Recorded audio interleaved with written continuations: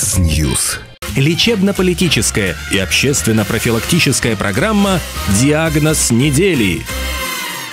И тебя вылечат, и тебя тоже вылечат.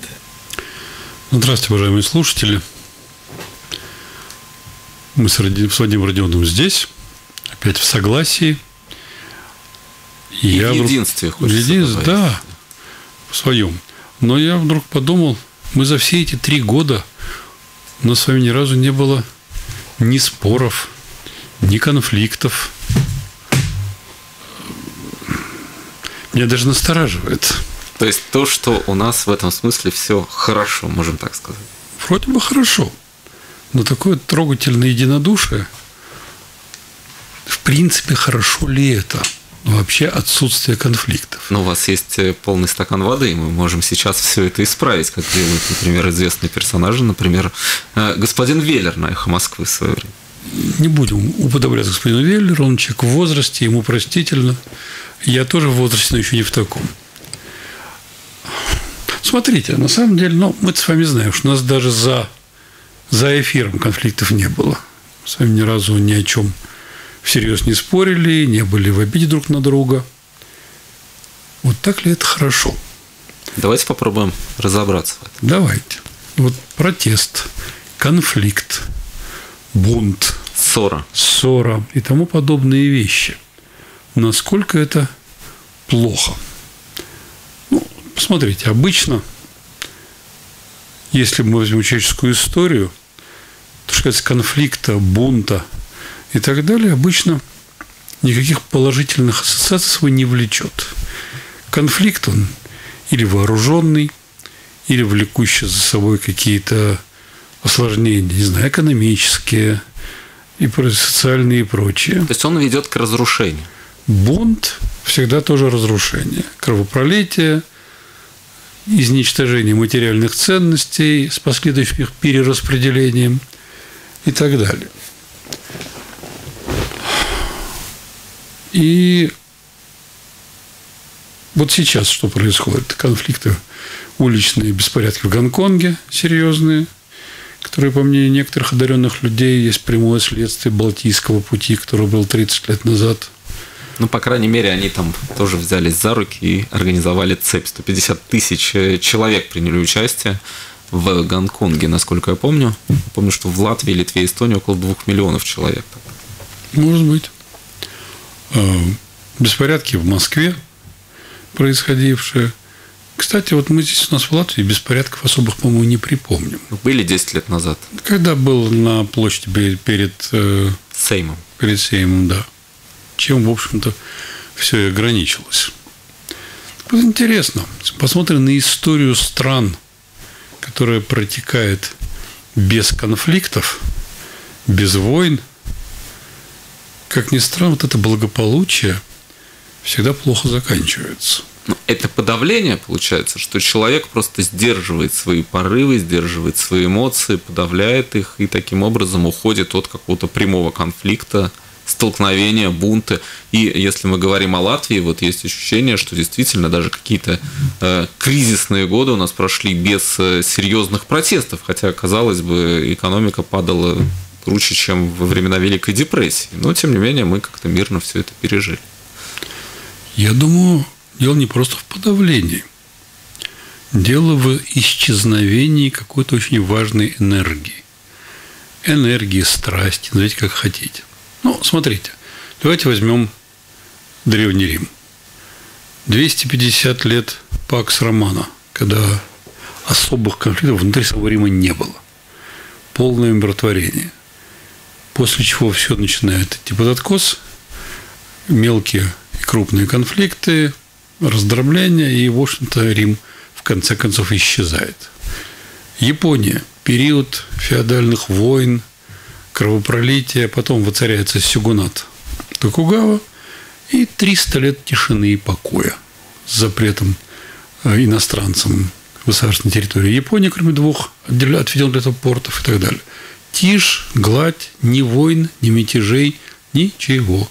Вплоть до середины XIX века, когда к Японии э, приближаются американские военные корабли и российские корабли, и вдруг выясняется, что ты тишь да гладь привела к полной деградации японской армейской системы. То есть получается, что конфликты, ссоры, э, какие-то такие состояния, которые принято считать не очень хорошими, они, в общем-то, являются неким стимулом, неким мобилизующим элементом. В том и речь.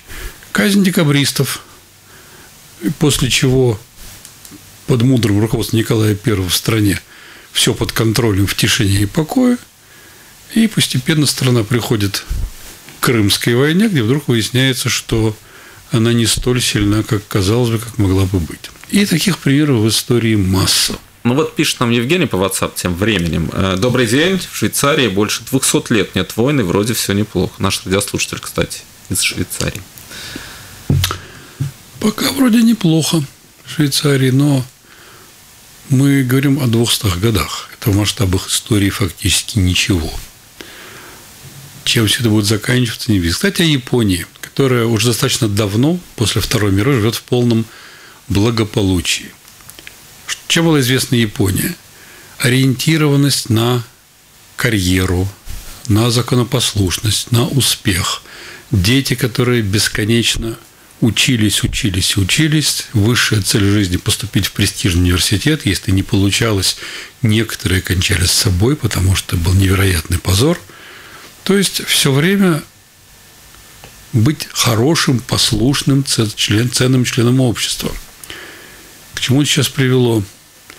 Примерно, по-моему, полмиллиона или больше хикикамори, люди, которые вообще не выходят из своего дома, нигде не работают, не ведут никакой полезной жизни.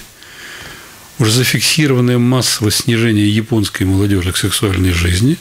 А сексуальность есть, такая, да? Да, то есть энергия либидо тоже начинает которая, в общем-то, одна из таких основных энергий, что трансформируется прочие энергии нашей жизни, начинает тоже куда-то исчезать. То есть человек превращается в овощ, вот если так упростить эту ситуацию. Человек становится настолько тихим и законопослушным, что практически перестает существовать. И как это отражается на нас, если перейти с масштаба стран перейти на уровень общества и индивидуума. То есть, если мы живем без конфликтов, если мы не ссоримся, не спорим, не выясняем отношения, то что происходит с нами? Это хорошо описал Ницше в своей книге знаменитый «Так говорил Заратустра». Он писал три стадии развития человека, в общем так, аллегорически. Он говорил, что человек на первой стадии является верблюдом, потом львом, потом ребенком. Верблюд трудолюбивый, спокойный, терпеливый. И копит все в горбу свою. Да, тащит свой груз по жизни, получает корм и проблем никому не доставляет. Но это очень мертвящее существование. Без желаний живут жизнь по правилам. Дальше лев – это хищник. Ярость, агрессия, я хочу – воплощенное желание получить то, что я хочу, любой ценой. А вот третье, по мнению Ницше, стало дитя, играющий ребенок. Эмоции, радость, веселье, импульс и так далее. Ну вот именно в таком порядке. Вот мне кажется, что э, этот идеал верблюда долгие годы насаждается среди людей. Что такое полезный, хороший член общества? Что такое человек, который не доставляет проблем, который... У него есть вполне хорошие цели. У него есть содержать свою семью.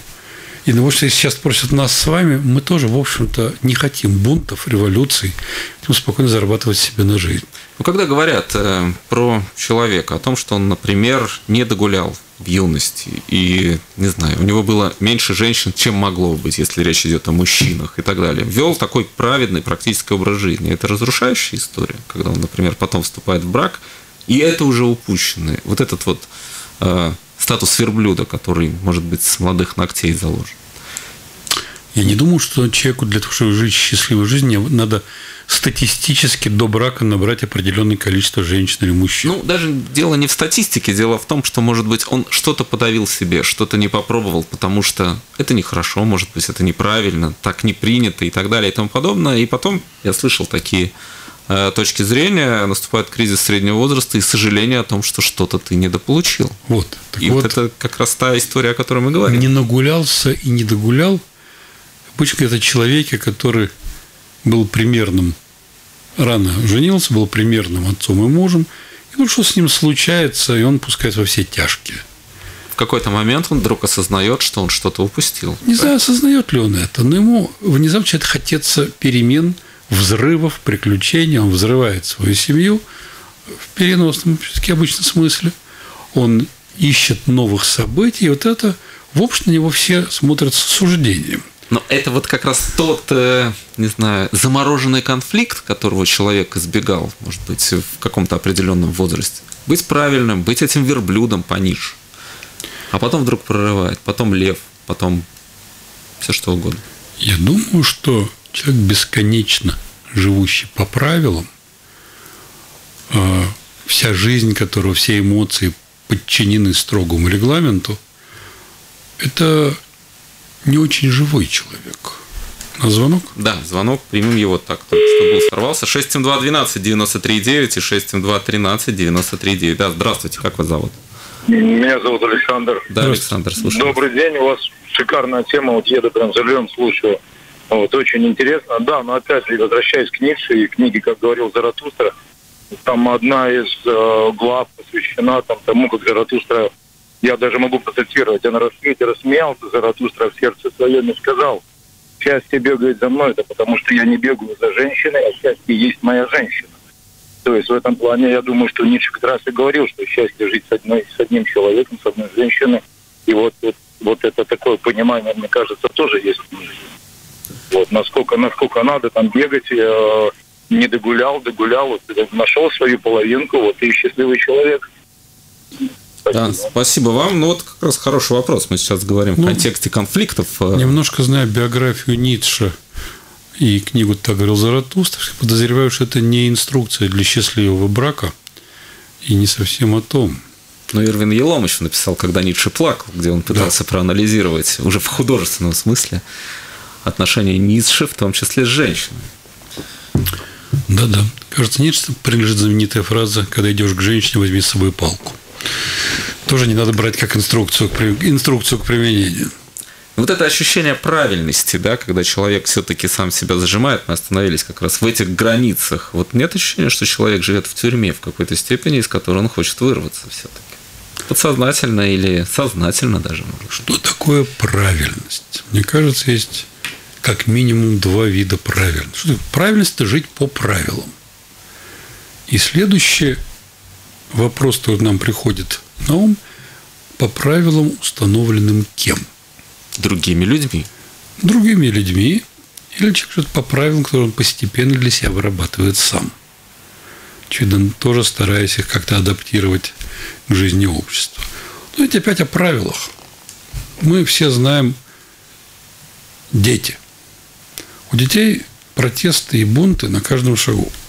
Я хочу, я не хочу. Да, в 2-3 года это обычно называют капризами. Ребенок капризничает, он кричит, швыряет игрушки, он плачет, он скандалит, что-то требует. Подростковый возраст начинается тот самый бунтарский период. И вам скажет любой практикующий психотерапевт, что дети, которые успешно миновали все протестные периоды, настораживают нас куда больше, чем дети, которые их полноценно прожили. То есть э, можно здесь вспомнить знаменитую фразу «Кто же в юности не мечтает о революции, кто же в старости не мечтает о покое», да, это что-то такое, перефразировав ее.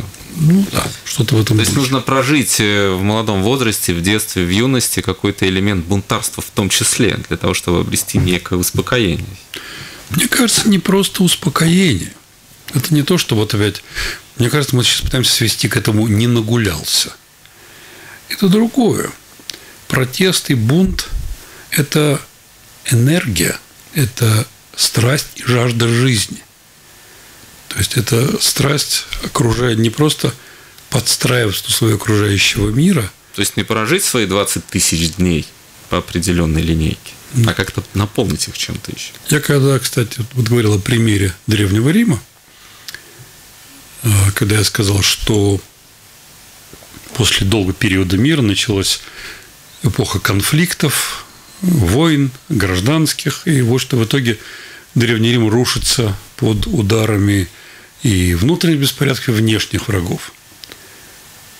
И казалось, что тут катастрофа.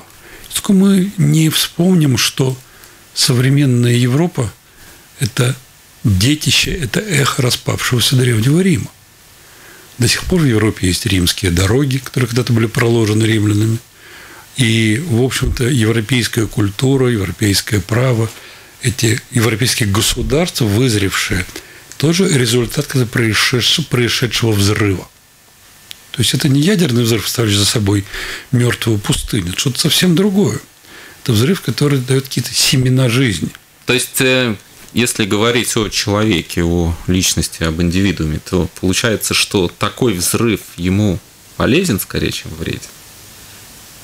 То есть прожить всю жизнь по правилам или прожить всю жизнь, в том числе не избегая, не минуя вот таких вот потрясений и взрывов. Я думаю, периоды взрывов и протеста не просто полезны, они необходимы. Если мы задумаемся о, о нас, о взрослых людях, то, наверное, мы обнаружим, что протест и бунт удел не только детей и подростков. Это нам так кажется.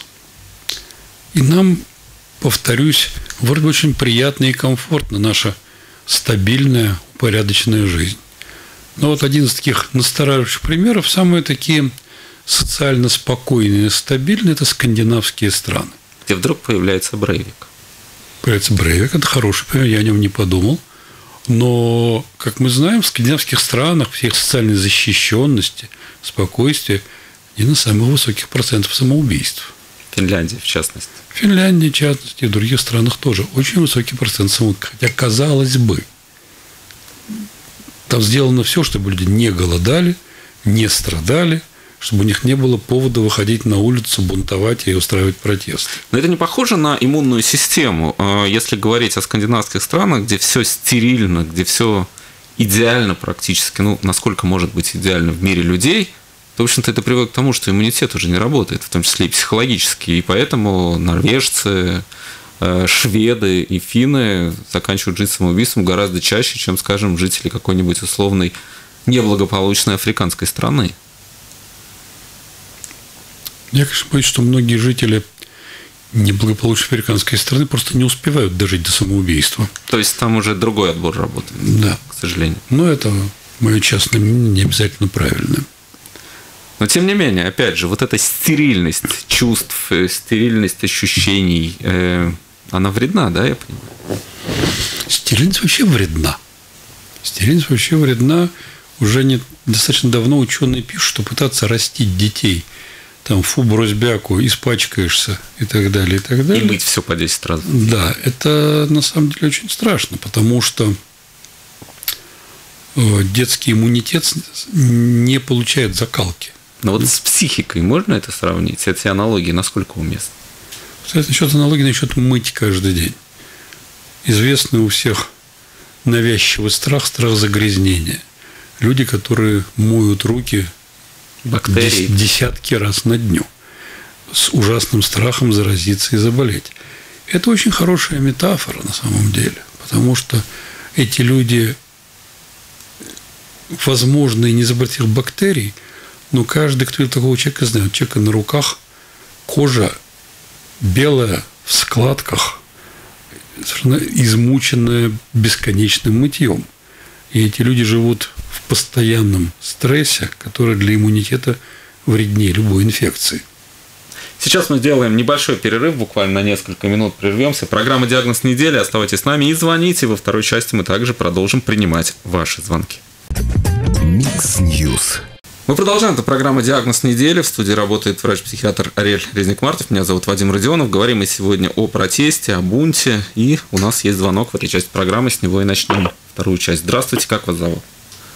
А, здравствуйте, меня зовут Мартинч. Да, Мартинч, слушаем вас. Э, вот хотел э, рассказать ну, небольшую такую иллюстрацию ситуации, конфликта и, и э, попросить ну, ваш взгляд про ну, решение. В общем, вкратце, ну, есть одна девушка, женщина, с которой, ну, как бы встречаемся, как бы друзья, но а, у меня вот а, дико не нравится одна вещь, то, что когда я звоню, она, она не отзванивает, а, или, или делает это через неделю. Потом извиняется, я ей, ну, я ей сказал, что, ну, это мне как-то неприемлемо, что как-то, ну, пожалуйста, ну, перезвони хоть на следующий день, или пришли, пришли смс, что ты не можешь Однажды это, ну, вроде бы сработало, а потом опять то же самое. Э, звоню через неделю, мне отзвонит, извиняется. Ну, вроде бы, как бы, я даже поверил этому извинению. А, но как-то вот кровь кипятит. Я вот сейчас думаю, а правильно ли мне а когда это меня задевает что-то, а, адекватно, ли, а, адекватно ли решать конфликт в этом моменте, или, или все-таки успокоиться и, а, ну, и принять. потом от, отложить. Да, спасибо вам. Ну, кстати, как раз в тему истории. Как реагировать на игнорирование, наверное, по сути? Я не сын консультант по вопросам брака и семьи, конечно. Но мне кажется, что если девушка регулярно не перезванивает через неделю, возможно, вы ей просто не очень интересный Мартинш.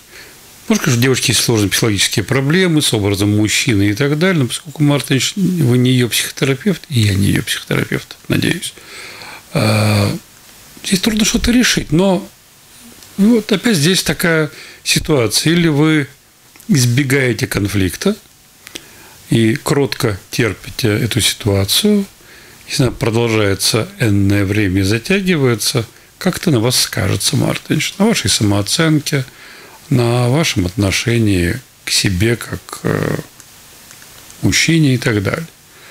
Э, знаете, конфликт не значит, что надо по горячему вспыхнуть и устроить страшный скандал с битьем посуды и метанием телефона в стенку. Нет, конфликт он может быть вполне и спокойным. Конфликт может быть спокойным. Что такое конфликт? Такое категорическое, настойчивое неприятие ситуации, какой она есть. То есть я не согласен. Да.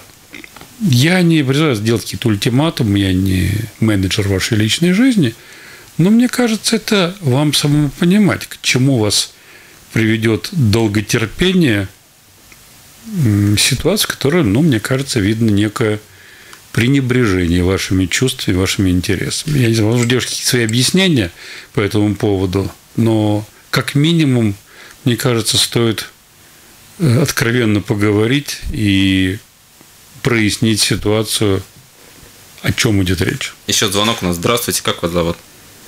А, здравствуйте, зовут, меня Игорь зовут. Здравствуйте. Я хотел сказать, вот насчет Скандинавии, да, здравствуйте сейчас. А, насчет Скандинавии вы говорили, да, там, ну, может быть, вот в финансовом, конечно, плане, да, э, там все супер, но почему-то вот много самоубийств, да, одно, один из экспертов, что люди очень много пытаются скрыть из своей личной жизни, потому что там, например, к примеру, а насчет Норвегии, я вот не понаслышке знаю, рассказывали, да, что, например, если ты приходишь на работу э, и там один-два дня ты не улыбаешься угрюмо, тебя просто за, за ну, по-русски заклюют, затюкают. Почему?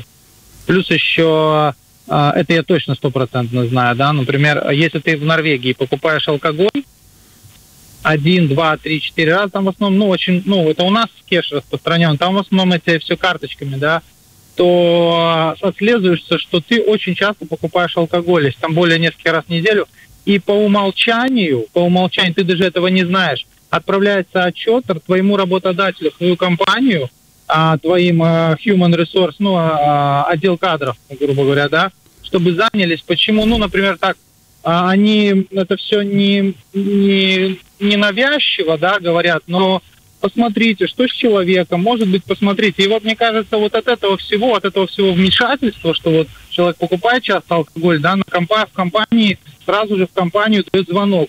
с ним очень, может быть, скорее всего, начнут разговор, опять же, как где-то сдалека, знаете, заходить. И вот это вот все скандинавы, они это знают, и люди а, по максимуму... Да, спасибо вам. Ну, вот такой, такая иллюстрация. Ну, все-таки Игорь сказал сначала, что это не понаслышке, то то, что ему рассказывали, то есть понаслышке. То есть это не то, что человек прошел сам. Я думаю, что общество предельно регламентированное, где есть вот этот вот порядок абсолютный, тот самый знаменитый немецкий Охнунг, где все упорядочено предельно. Ну, вы знаете, как называется состояние предельной упорядоченности? Как? Смерть. То есть все. Все тогда... остановилось, все процессы остановлены. Все предсказуемо да, в нашей жизни. Да. Но дальше обычно за смерть все-таки это не конец, начинается энергия распада. То есть то, что умерло, начинает распадаться. И я думаю, что это тоже так метафорически касается и человеческой, человеческой личности. Там, где исчезает энергия событийности, энергия какого-то всплесков, эмоциональных поступков вопреки течению, начинается энергия умирания и распада. То, То есть жизнь в стабильном обществе, она тоже может быть вредна, по сути. Я думаю, что чрезмерная, вредна, как чрезмерная стабильность совершенно точно вредна. И потом, ну, как опять показывает человеческая история, может быть стабильность в пределах какой-то одной жизни, хотя тоже вряд ли. Даже на протяжении моей жизни, э, хотя я не участвовал в войнах, э, Ригу не захлестывали эпидемии, цунами и так далее, но пережито очень много всяких социальных ну, потрясений и событий. Да. И это еще достаточно благоприятный период человеческой истории. Очень благоприятный. Это не то, что родители и деды, которые знали, что такое война, не понаслышке и ее последствия. Так вот, мне кажется, вот эта предельная упорядоченность и спокойствие – она может быть субъективно приятна, потому что именно слово «спокойствие» нам нравится обычно. Нам нравится спокойная жизнь, особенно когда мы уже в возрасте. Мы не хотим потрясений, мы не хотим менять работы, переезжать куда-то. Даже такие вещи, как переезд и ремонт, ничего хорошего людей просто не вызывает. Все неприятные ассоциации. Так вот, отсутствие перемен, мне кажется, губительно и для человека – и для общества. Еще звонок у нас. Здравствуйте, как вас зовут? Добрый день, Сергей. Здравствуйте, Сергей, слушаю вас. Я пять лет живу в Дании. Вот у них очень высокая социалка. Значит, у них стрессов нету. Э, детям не, не ставят оценки в младших классах. Просто ходят, слушают. Э, домашних уроков нету, домашних заданий нету. Но у них очень высокая национальная вот эта сама идентичность, то есть э, они гордятся своей, своим этносом. То есть у них повернуто не на эту, на эту тему. И вот от людей, которые там давно живут, русскоязычные, я узнал, что большой процент самоубийств, это в основном иностранцы э, лишают себя жизни. Там с мостов прыгают. То есть местные живут долго, там по 90 лет. Да, спасибо. Вот такое наблюдение. Та статистика, которую я читал, не упоминала, что самоубийство среди иностранцев. Насколько я помню. Ну, тут у меня нет под рукой цифр, поэтому не буду спорить. Но есть ведь э, такое, такая фраза «умер от скуки». То есть это как раз, наверное, к нашей теме. Есть такая фраза. Мне кажется, если человек отсутствует некий конфликт в каком-то этапе жизни, э, он перестает себя ну, не знаю, обозначать как некий отдельно существующий объект. Он перестает себя обозначать как кого-то, кто может являться источником или причиной перемен. Он становится, ну, не знаю, а, молекулой воды в потоке, каплей воды в потоке. То, что трудно различить и выделить. Шестеренка в часах. Можно и так сказать. Можно и так сказать. Поэтому, мне кажется, вот эта энергия... Мы всегда чувствуем чувство энергии упадка и скуки. Звонок?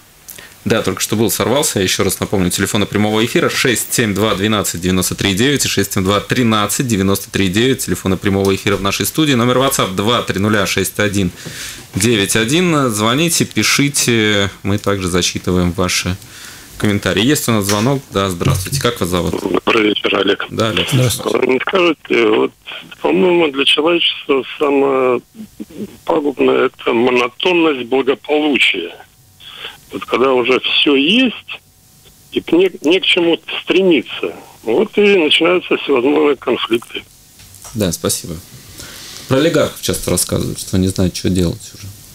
Потому что вроде все попробовал. Вот мне еще ни один олигарх не жаловался на что подобное, поэтому мне трудно об этом говорить. Что монотонность благополучия, еще раз, обычные взрослые люди в большинстве хотят монотонности благополучия. Им кажется, что это прекрасно. И есть что-то замечательное. Если есть некая прогнозируемость твоей жизни, наверное, здесь что-то успокаивающее. Вот когда твоя прогнозируемость э, очень однообразна, каждый следующий день похож на другой, на следующий, на Инсульт, следующий. Да, тогда, мне кажется, становится тяжело. И опять, если мы говорим о протестах, кстати, мне тема протеста очень близка к знаменитой и не очень любимой мной фразе «выход из зоны комфорта». Это что же это выход из однообразия? Другое дело, что мы как-то уже была передача этому посвящена. На мой взгляд, из подлинного комфорта, такого настоящего, никто выходить не хочет. Люди обычно выходят из зоны комфорта, вот это называется вялый хронический дискомфорт, который вроде бы Который устраивает. он такой не по- мог- а могло бы быть и хуже. Ну, слава богу, что так. Э, Стоит ли совершать эти резкие телодвижения, искать каких-то перемен?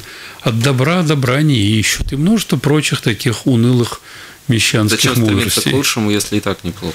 Да, да. Лучший враг хорошего. И так далее и тому Ну, подобное. очень много, можем еще много по этому поводу говорить. Вот мне кажется, выход из зоны комфорта начинается тогда, когда этот псевдокомфорт ты ощущаешь, он тебя душит.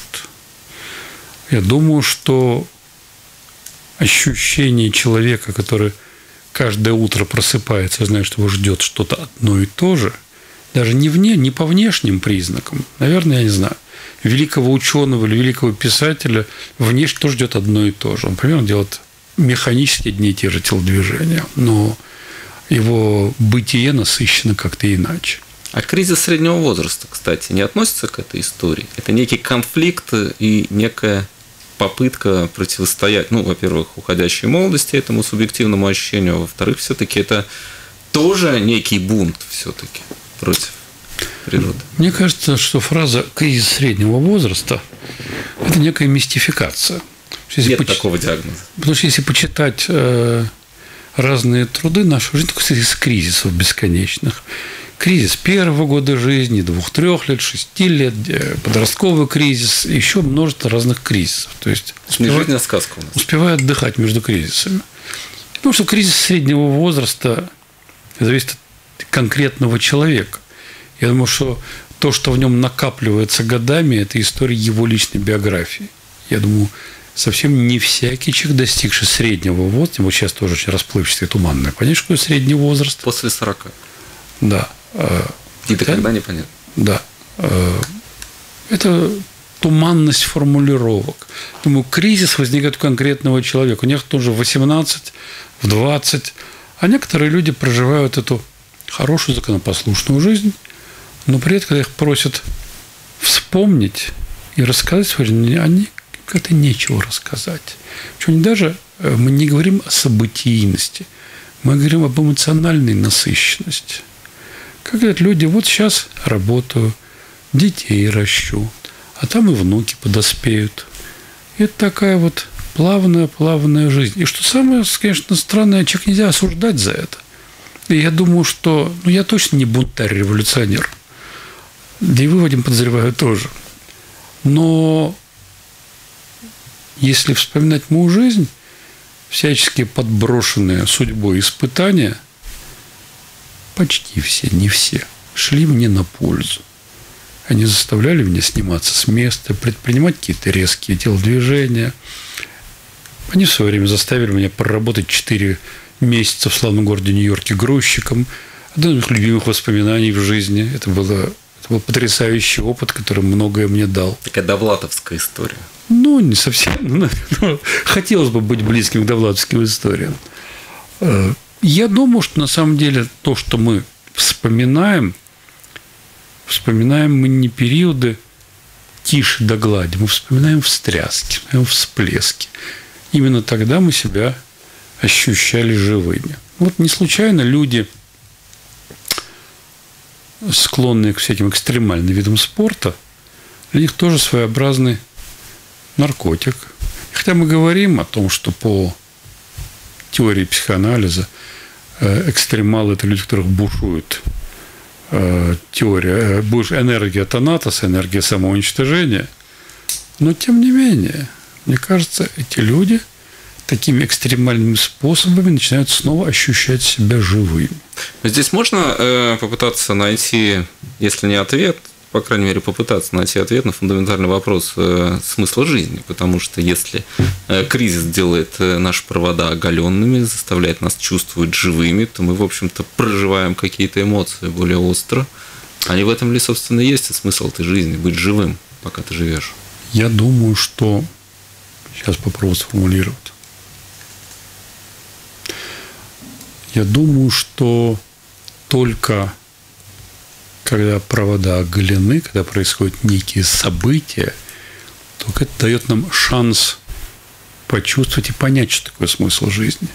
Пока мы живем в таком тихом полунаркозе, в этой дреме, невозможно ощутить, что такое смысл жизни. Знаешь, не знаю, как, наверное, медведю, впавшему в спячку в берлоге, невозможно ощутить собственную жизнь. Это необходимая часть его жизни.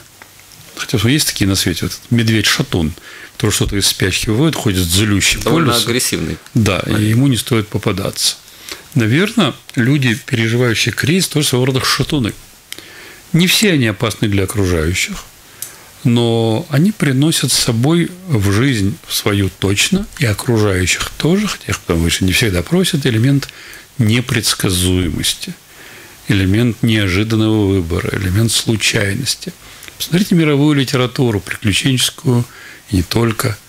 Все приходит к тому, что вдруг происходит некий Диана случай. Джонс, вдруг кто-то к нему пришел и сказал, слушай, Например, дорогой, да, это... некий случай, и этот случай переворачивает твою жизнь. И вдруг твоя жизнь начинает бурлить и нестись со страшной скоростью.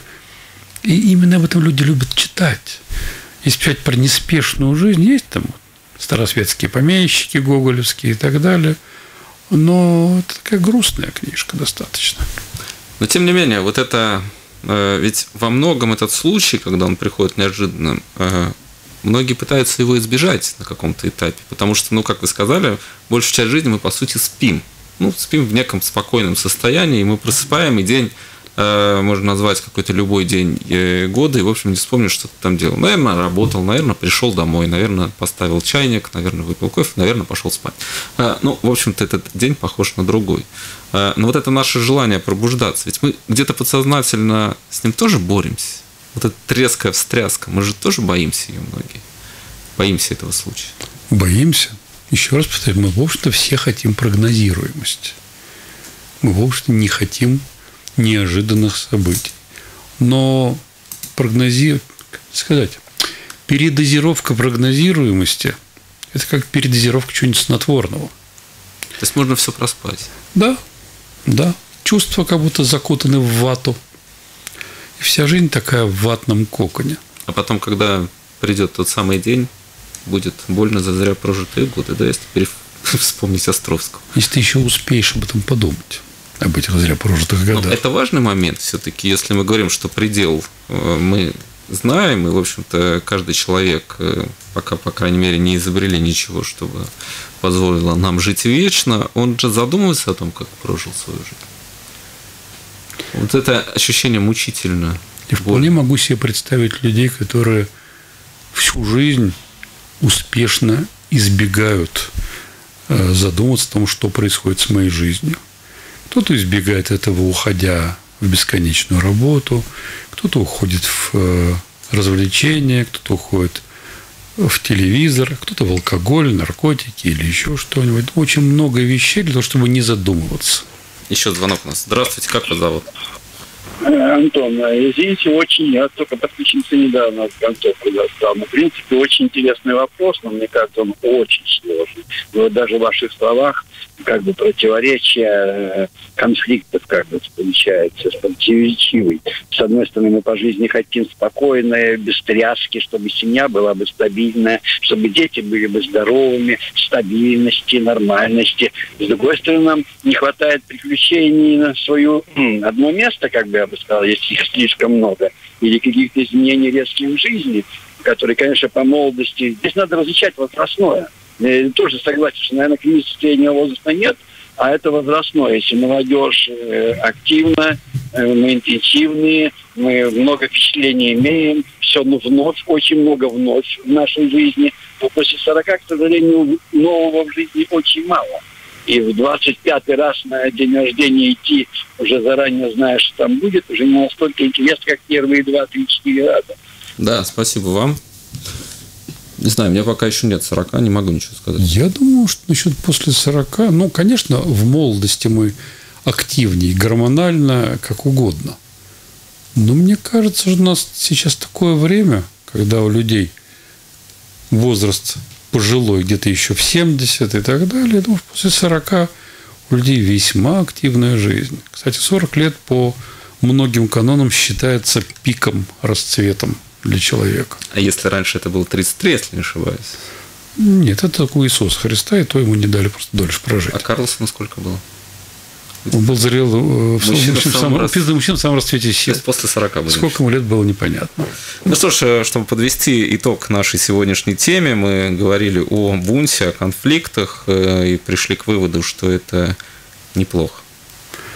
Это не просто неплохо, это на самом деле необходимо, нравится нам это или нет.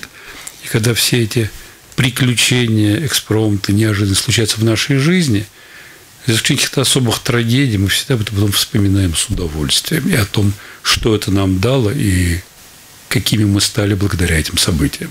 Ну что ж, на этом мы э, закончим сегодня программу. Диагноз недели. Врач-психиатр Ариэль Резник-Мартов. Меня зовут Вадим Родионов, звукорежиссер Родион Золотарев. Я с вами не прощаюсь. После шести часов у нас вечерний интерактив. И Ариэлю мы говорим до свидания. Встретимся через неделю. Через две недели. Через две недели. Да.